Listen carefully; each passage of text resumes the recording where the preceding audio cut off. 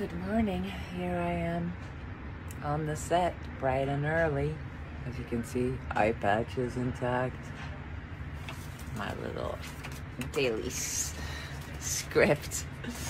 My uh, avocado toast. Um, empty cup of coffee, which I have to go and have another one of.